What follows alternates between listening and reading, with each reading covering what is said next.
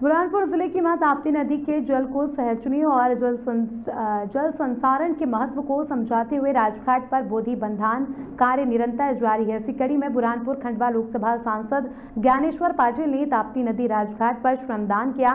सांसद ज्ञानेश्वर पाटिल ने जिलेवासियों से जल संरक्षण के महत्व को समझने और बोरी बंधान कार्य का को सफल बनाने की अपील की।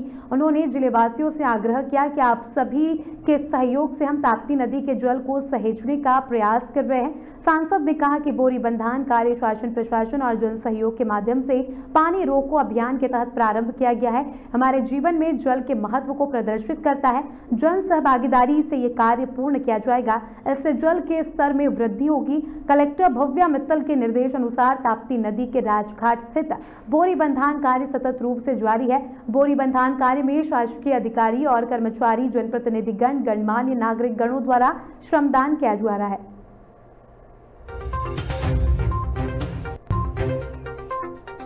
बुरहानपुर और आसपास गाँव की जनता से आग्रह करूँगा कि जो ताप्ती नदी पर बोरी बंधान का कार्य चल रहा है, उस कार्य के लिए सभी लोग तन, मन और धन से सहयोग करें, ताकि एक एक बूंद का पानी का सदुपयोग हो और पानी रुकेगा।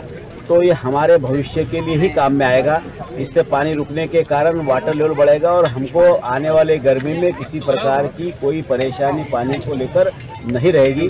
इसलिए सब जनता से अपील करना चाहता हूँ, सारी सामाजिक संस्थाओं से अपील करना चाहता हूँ कि आप आइए और अपना अपना सहयोग देकर इस बोरी बंधान को सफल